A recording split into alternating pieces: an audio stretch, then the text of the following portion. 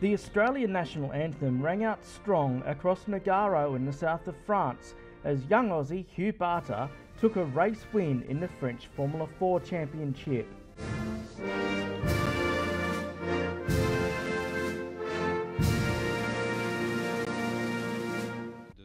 Starting on the front row for the third race, the 15 year old's front row partner didn't get away, which gave Barter a strong run on the first lap.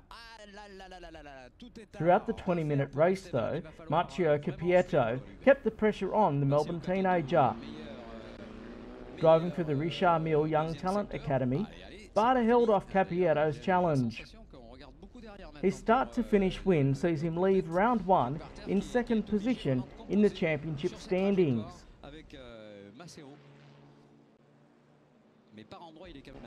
It was Barter's first circuit race meeting after a storied career in karting where he raced for Daniel Ricciardo's factory kart team.